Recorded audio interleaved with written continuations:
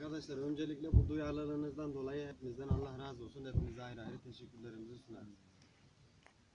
İstanbul'daki patlama münasebetiyle aziz şehitlerimiz için bir dakikalık saygı duruşu, ardından İstiklal Marşı ve hain saldırı ile ilgili açıklama yapılıp kınanılacaktır. Saygı duruşu için. Dikkat!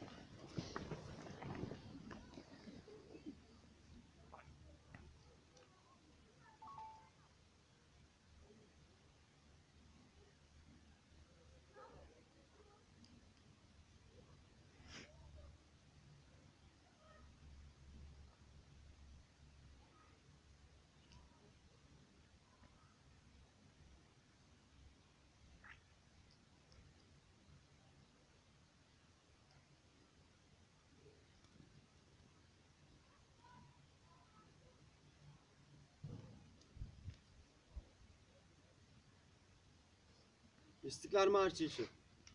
Son, 2, 3.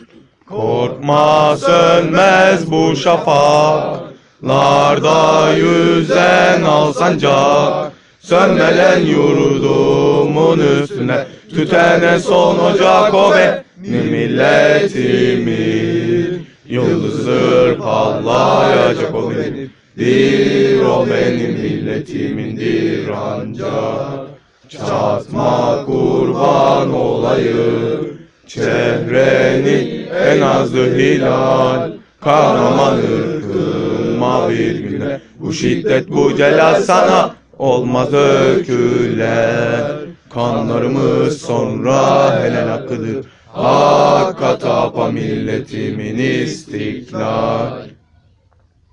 Boyabat Üniversitesi öğrencileri olarak burada toplanmamızın nedeni Cumartesi akşamı saat 10 10.30 civarında Vodafone Arena yakınlarında şer odaklarının kanlı ellerin yaptığı hain saldırıdır.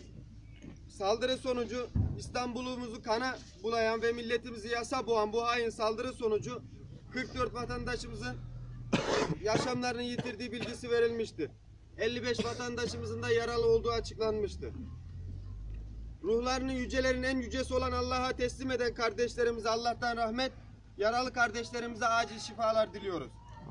Bu milletin güvenliğini sağlamakla görevli güvenlik güçlerimizi hedef alan ve masum insanlara kıyan, gözü dönmüş bu hain saldırıyı ve saldırının insanlık ve vicdan yoksunları katillerini şiddetle kınıyoruz.